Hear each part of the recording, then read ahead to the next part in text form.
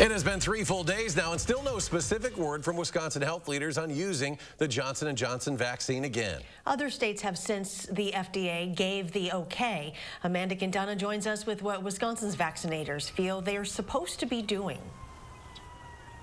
Yes, that pause was lifted back on Friday, but this weekend we haven't heard of any vaccinators locally starting to use the Johnson & Johnson shots again, even though there are thousands of doses ready to be used.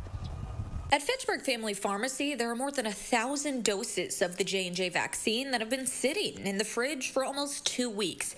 Thad Schumacher plans to use them at a clinic on Saturday, hoping to hear something from the state by then. The language is kind of vague. The last press release about J&J from DHS on the 13th says vaccinators should hold on to the vaccine until federal review has been completed.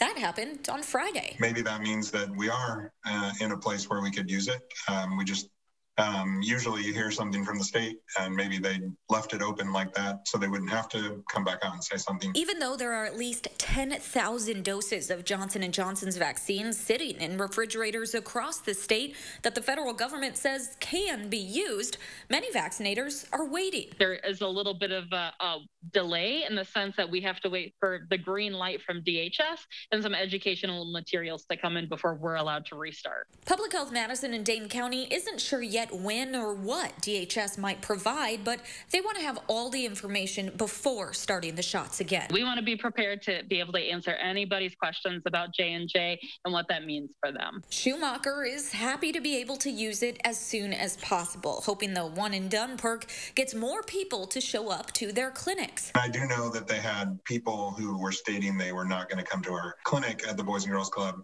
um, especially this past Saturday, because we weren't using Johnson & Johnson. And it frees up vaccinators to reach more people even faster.